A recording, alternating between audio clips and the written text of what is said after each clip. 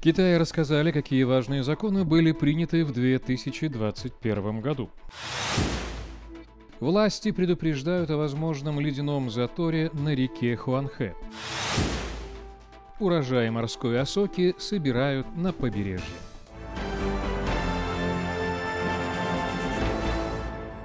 В прошлом году в Китае законодательная власть приняла много важных законов, которые касаются социальной сферы, международной и внутренней политики.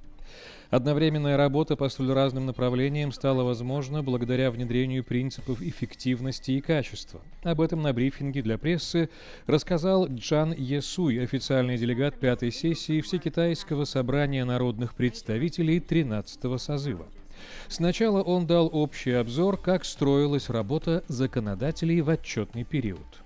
Прошлом году Всекитайское собрание народных представителей и его постоянный комитет сосредоточили внимание на развитии дела партии и страны и активизировали работу в областях, связанных с сотрудничеством с другими странами. Законодательный процесс основывался на научном, демократическом и правовом принципах.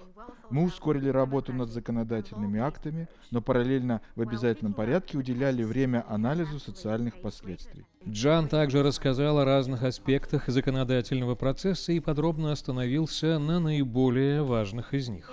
Мы всесторонне пересмотрели приложение к основному закону специального административного района Гонконг, чтобы внедрить демократическую избирательную систему, которая соответствует правовому статусу Гонконга. Это необходимо для поддержания конституционного порядка в районе и обеспечения надежной реализации принципа «одна страна, две системы» в долгосрочной перспективе. Мы также приняли новый закон о надзорных органах. Китайские законодатели также рассмотрели и приняли акты об утилизации пищевых отходов и шумовом загрязнении на городских улицах. С прошлого года началась регуляция сбора личной информации о пользователях в социальных сетях.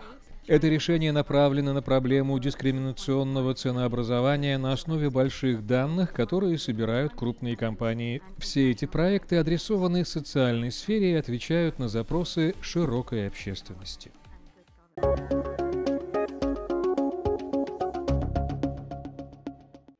Ранняя весна и устойчивое повышение температуры ускорили таяние льда на реке Хуанхэ в автономном районе Внутренняя Монголия. Половина реки по-прежнему скована льдом, а отколовшиеся части плывут вниз по течению и грозят создать заторы в узких местах. Участок Хуанхэ во внутренней Монголии уже начал сильно таять в уезде Дэнкоу, недалеко от города Баяннур. Сейчас перед отделом по борьбе с наводнениями встала критически важная задача по предотвращению скопления льда. Сотрудники находятся в состоянии повышенной готовности к угрозе ледяного наводнения. Большое количество глыб в одном месте может поднять уровень воды и угрожать жизни людей. Мы внедрили систему ответственности руководителей за предотвращение паводков и порядок дежурств. Сотрудники проводят круглосуточное патрулирование дамб для проверки опасности и обеспечения контроля уязвимых мест. Также мы подготовили аварийно-спасательные материалы и различные виды спасательных средств. Аварийная команда внимательно следит за изменением водной и ледовой обстановки. Протяженность реки Хуанхэ составляет почти пять с половиной тысяч километров, а ее участок во внутренней Монголии составляет одну шестую от общей длины реки.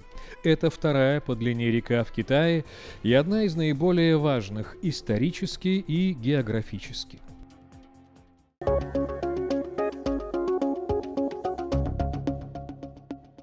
Сезон сбора урожая морской осоки в самом разгаре в прибрежном округе провинции Джэцзянь. Каждый день в ясную погоду фермеры выходят, чтобы собрать и просушить водоросли на побережье. Морскую осоку собирают с помощью специальных инструментов, нанизывают и подвешивают на длинные веревки, чтобы она сушилась на весеннем солнце в течение двух дней.